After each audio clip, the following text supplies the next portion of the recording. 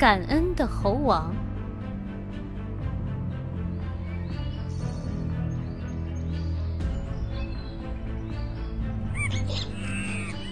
猴子，这是猴子的叫声啊！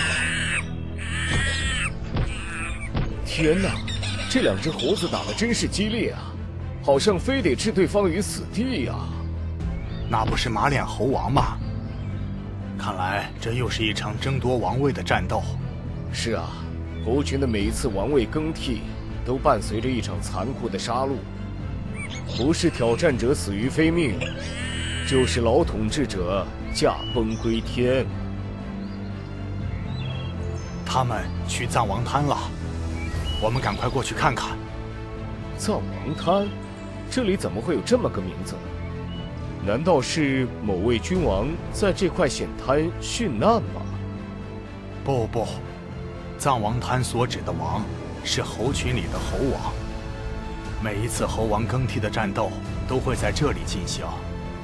那些被赶下王位的倒霉猴王，无一例外，都会被从这里推下江淹死。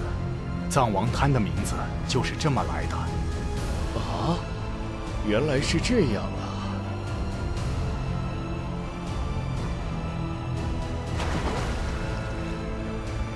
马脸猴王的时代结束了，接下来的时代是属于新猴王的了。马脸猴王落水后，动物学家和向导急忙驾船，来到了猴王坠落的地方。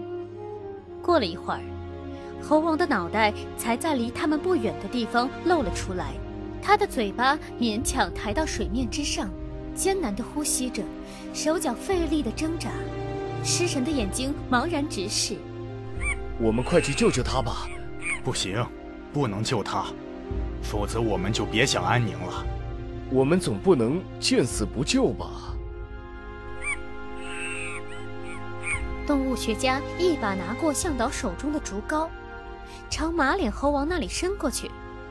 马脸猴王抓住竹篙，飞快地爬到船上，大口大口地喘着气。山崖上的新猴王发出一阵阵愤怒的抗议声：“新猴王在警告我们呢，我们刚刚应该不要管这些猴子的闲事。”唉，我们以后的日子可不安宁了。可怜的家伙，伤的可不轻啊！你不要可怜他了，我们把他给救了。那新猴王绝不会放过我们的。前几年，曾有一个村民抓到了一只小猴，卖给了动物园，结果他家种的三亩农作物，被那些猴子一夜之间全给连根拔起。啊！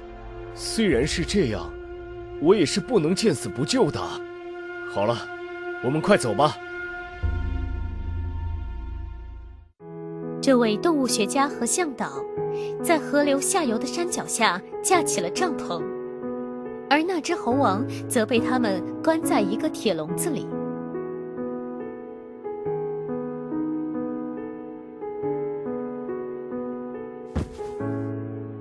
有了这些树枝，我们就可以升起篝火。只要有火，野兽就不敢靠近，我们也能取暖做饭。幸好有你，否则我可不敢一个人在这荒郊野外过夜。不好，是猴群，他们一定是来报复我们的。说着，他急忙朝帐篷那里冲去，动物学家紧跟其后。果然，一群猴子正在他们的帐篷那里进行洗劫，帐篷被掀翻在地，锅碗瓢盆被砸得稀烂，书籍和资料本也被撕碎，几只猴子还在他们的被褥上撒着尿，而新猴王则用一根树枝使劲地往笼子里捅着，笼子里的马脸猴王抱着脑袋，蜷缩在笼子中央。可恶，你们这些强盗！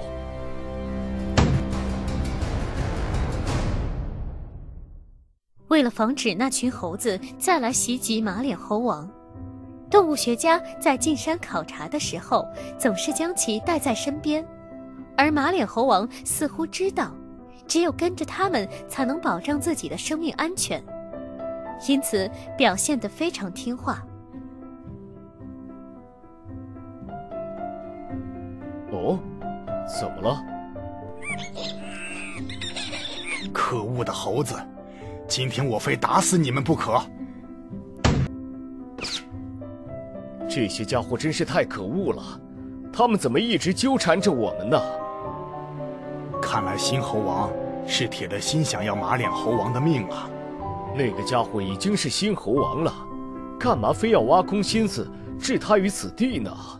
很可能马脸猴王在猴群中还是有一定的威信，所以只有他死掉才行。哼，只要有我在，就绝不允许伤害到他。好了，我们先在这里休息一会儿吧，前面还有好长的一段路呢。说着，他们一起在一棵树下坐着休息起来。动物学家顺手将背包挂在了身后的树枝上。那个新猴王还是会继续来找麻烦的，接下来的路程可得小心一点。那个家伙，只要他敢来捣乱，我就让他好看。可不能大意呀，他在背地里偷袭我们，会让我们更难防范的。啊！你这个强盗，快把背包还我！这个猴子真是狡诈，他这是要和我们做交易呢。做交易？没错，他是要用那个背包和我们换马脸猴王呢。可恶的家伙！这么说，如果我们不交出马脸猴王的话，他是不会把背包还我了。糟糕！我所有的研究资料都放在里面呢，要不就跟他换了吧。马脸猴王一直气色不好，即便留在我们身边也活不长。不如用他把你的背包给换回来吧。不行，我绝对不会这样做。你这个混蛋，我是不会和你进行这种交易的。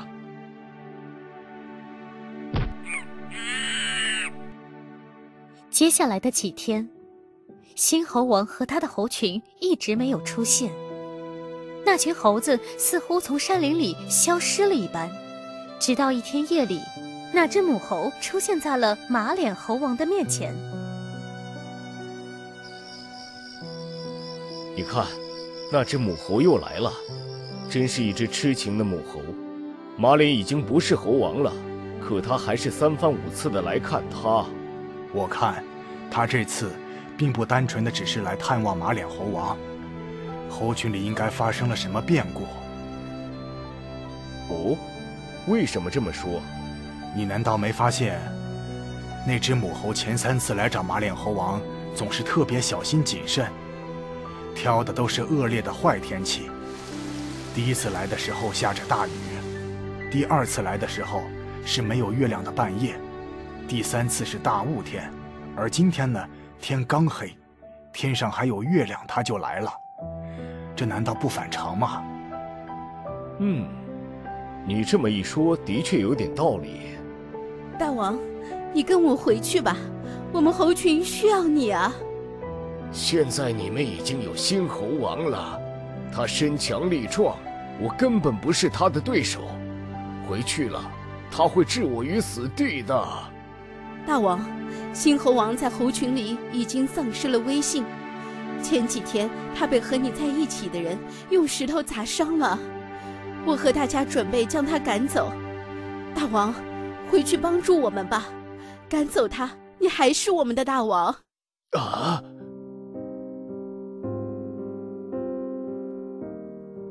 大王，不要犹豫了，快跟我回去吧。难道你还留恋这两个人吗？嗯嗯，好了，没关系，你走吧，和你的同伴回去吧。他这是在感谢我们呢。这个家伙是跟谁学的呀？好了，猴王，快回去吧。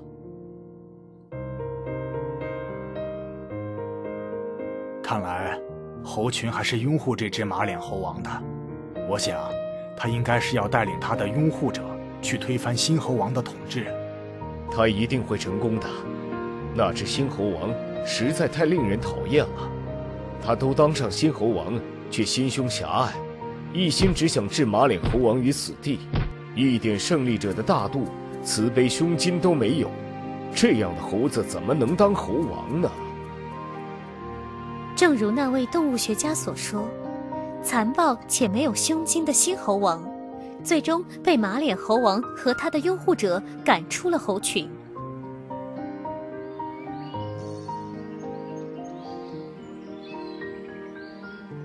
你快看，那不是新猴王吗？看来他已经被赶出猴群了。这么说，马脸猴王他又重新夺回王位了。过了几天的一个早晨，向导和动物学家钻出帐篷时，一眼便看到了摆在帐篷门口的背包，里面的物品完好无损。看来你说的没错，马脸猴王重新夺回了王位。但他还记得归还你遗失的包包，这就证明了他是知恩图报的呀。